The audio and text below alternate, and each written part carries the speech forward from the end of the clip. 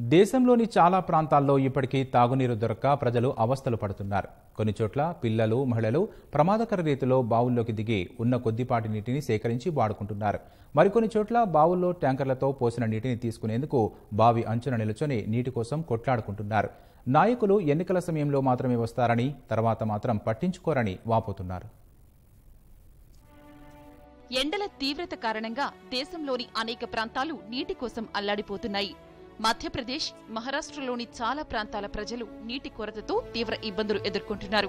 గుక్కెడు నీటి కోసం కిలోమీటర్ల దూరం నడిచి వెళుతున్నారు. ఎండిపోయిన బావుల్లోకి దిగి నీటిని చేదుకుంటున్నారు. మహారాష్ట్రలోని ఓ గ్రామంలోనూ బావి అంచున ప్రమాదకర రీతిలో నిల్చొని నీటి కోసం కొట్లాడుకుంటున్నారు.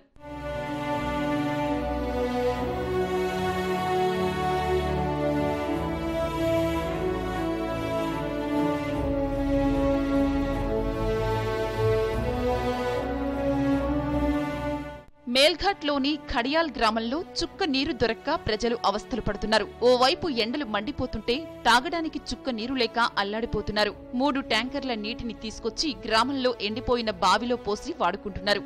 బావి అంచున గుంపులు గుంపులుగా నిల్చొని తాళ్ళ సాయంతో నీటిని తోడేందుకు జనం పోటీ పడుతున్నారు.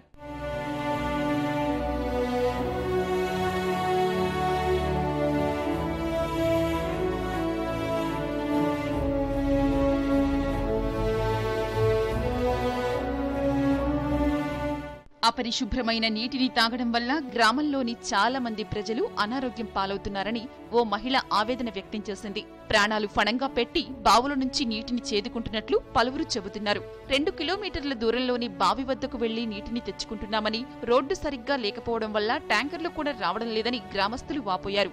ఎన్నికల సమయంలో నాయకులు వస్తారని తమ సమస్యలు పరిష్కరించడానికి ఒక్కరూ రావడం లేదని ఆందోళన వ్యక్తం చేశారు. ఇకనైనా అధికారులు స్పందించి తమ నీటి కష్టాలను తీర్చాలని గ్రామ ప్రజలు వేడుకుంటున్నారు.